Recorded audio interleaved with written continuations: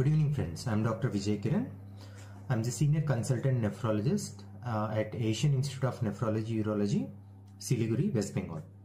Today, I'll be talking about dialysis and the different types of dialysis. I'll try to simplify the facts so that everybody can understand and the phobia regarding the dialysis, dialysis is removed. Now, let us know what is basically dialysis. Before knowing that, we should know what does our kidney do in the body. Our kidneys are God-given organs which help to filter the blood and remove all the toxins from the body. So while filtering this blood, the middle molecules and the smaller molecules which are toxins like urea, creatinine, all those things are removed and a urine is formed. And from this, uh, this is the basic method where the toxins are removed and they are excreted out from the body. Even in fourth or fifth class elementary classes, it is taught that excretory system removes toxins from the body. So that is what is kidney's function. It filters blood and produces urine. But there are many other functions of the kidney which we should also remember like kidney helps in the production of hemoglobin. Kidney helps in the healthy uh, bones by the production of vitamin D, the active form of vitamin D. So there are n number of other functions of the kidney, but the basic function of the kidney is filtering of blood. now, suppose due to any causes, either it is diabetes or hypertension or any temporary cause, for example, like taking painkillers or snake bite or infection induced kidney injury, which is called as AKI, if the kidneys have uh, stopped functioning either temporarily or permanently, what we have to do is as human beings, we may not be as perfect as the normal God given kidney, but what we can at least try to do is to filter the blood and remove all these toxins so that the other organs, other tissues are not affected. So this is dialysis. Dialysis is derived from a Greek word and it means dia means uh, separating lysis is filtering. So we are removing toxin products from the body that's all. Dialysis does not affect the kidney. Dialysis does not at all cause any problem to the kidney neither it improves the kidney function. What it basically does is it filters the blood. So with this we have to keep in mind. Mm, so many patients do ask us whether this dialysis has to be done lifelong or once it is done we have to keep on doing it. So please keep this in mind. If the cause for the renal shutdown is temporary which happens in acute kidney injury the dialysis which we do is also temporary. Okay? Now if this uh, problem with the kidneys are permanent then we have to do permanent dialysis or even go for a kidney transplantation. So the answer to that question, how long the dialysis should be continued, depends upon the cause for the kidney failure. That is number one. Number two, that is a wrong notion that once you start dialysis, you have to keep on getting it done lifelong. No. If the cause of temporary kidney funk failure is removed and if the kidneys start to functioning well, we tend to remove these patients off dialysis and I have personally seen many patients who are off dialysis uh, after doing some two to three months because the kidney function gradually improves on its own or due to with the help of medications. So that is a wrong notion that once you start dialysis, the patients are constantly on dialysis. No, that is not true. Number two. Number three is the different types of dialysis. Again, as the science is advancing, as the as the technology is increasing we have to utilize various modalities. The previous phones which we used to use are no longer used. Now we are using smartphones. In smartphones also there are so many types of smartphones. Similarly dialysis is basically uh, divided into multiple things. One is the blood dialysis which is called as hemodialysis. Here in hemodialysis what what we basically do is either through a jugular access or through an AV fistula. The blood of the patient is removed and it is filtered in an artificial membrane called as dialyzer and after filtering the blood is again repumped back to the patient. So what does this dialysis do? It basically filters off the blood, number one. Number two, it removes the excessive fluid from the body. So these are the two basic fundamental principles of hemodialysis. So what is hemo? Hemo means blood. Dialysis we already know. So blood dialysis. So this is the first type of dialysis. Second type of dialysis is stomach dialysis also called as CAPD. Okay. This is called as uh, uh, continuous ambulatory peritoneal dialysis. So here what what we utilize is a fluid which is uh, glucose filled fluid we install into the peritoneum in, into the stomach. It stays in the your peritoneum for certain period of time. It removes all the toxins it removes all the fluid and it is drained out. So the advantages of capd are that it can be done at home. You need not have to come every day to the hospital or day after day to the hospital like for example which happens in hemodialysis. So in capd the patient can be dialyzed at home. Hence it is called as home dialysis or it is called as stomach dialysis in layman terminology because the dialysis is done in the stomach.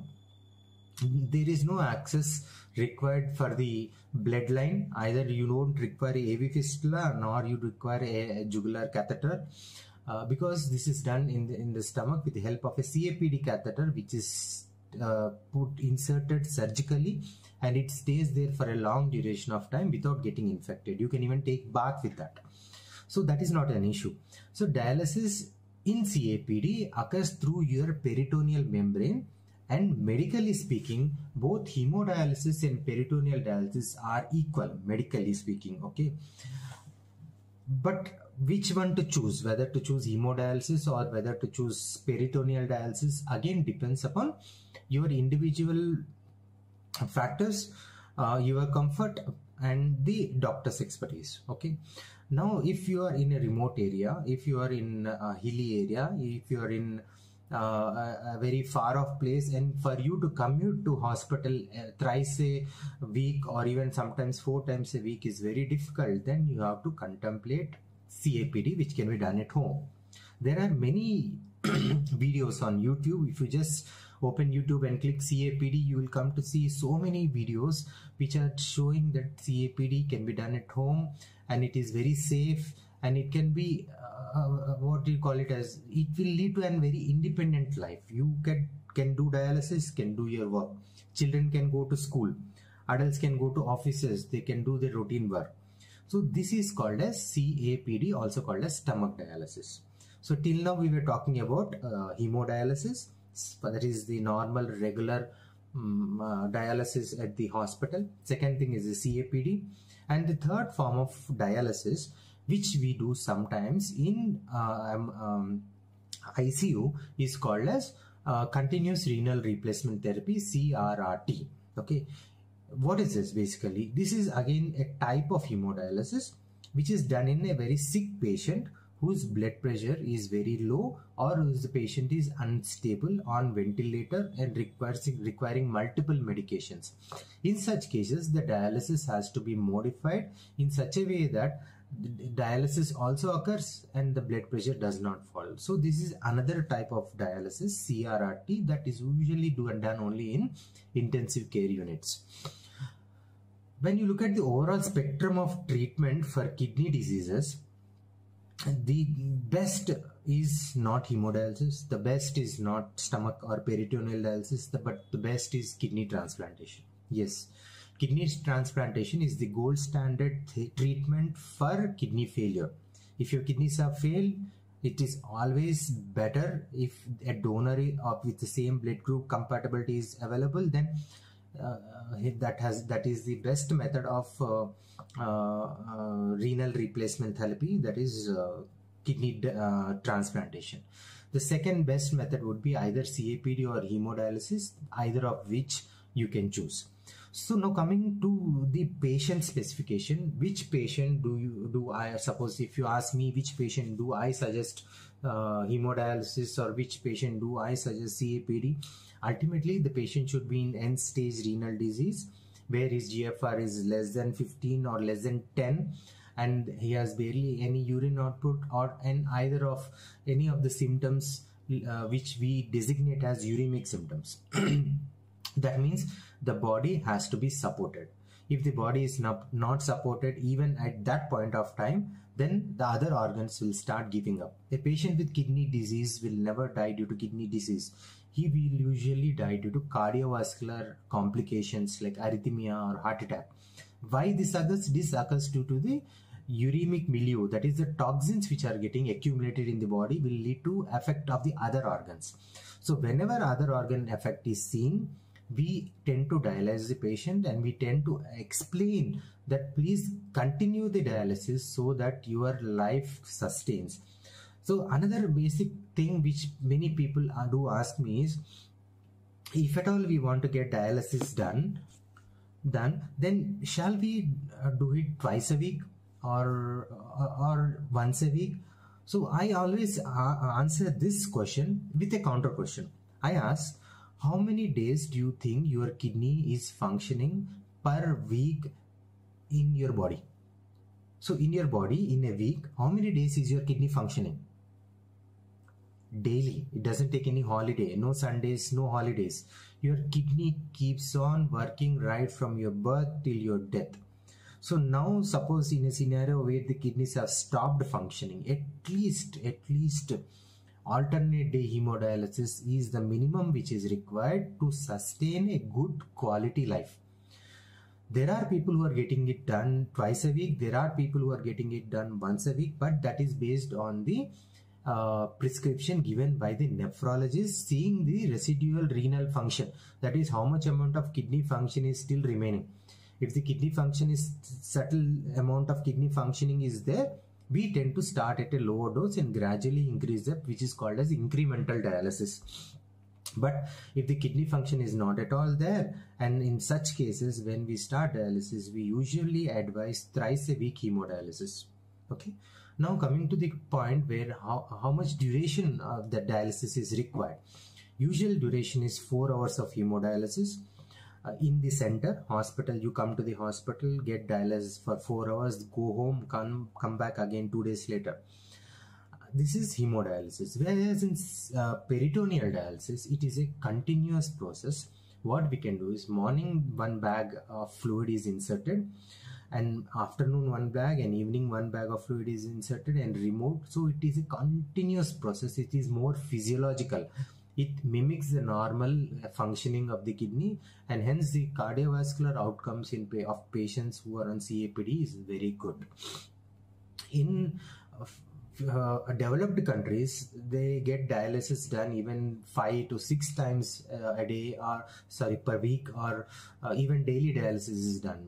This means that the more the dosage of dialysis, the better the quality of life. Though this has not been completely studied and validated, but uh, anecdotal reports do say that the more the dialysis, the better the quality of life and uh, better the hemoglobin of the patient. So this, please keep these things in mind. So if your kidneys are failing, uh, you have to uh, um, take this support the support is dialysis. Don't fear dialysis. Dialysis is your friend. Treat it as your friend and it will uh, give you a good quality of life. There are two types of basically two types of dialysis. Peritoneal dialysis and hemodialysis. Peritoneal dialysis is preferable for patients who are obese who are staying very far away who cannot travel.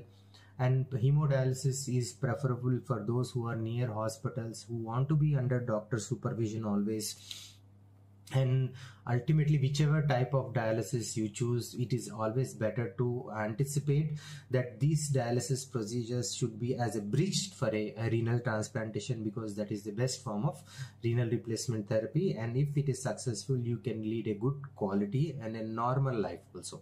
Okay? I hope i was very clear and thank you so much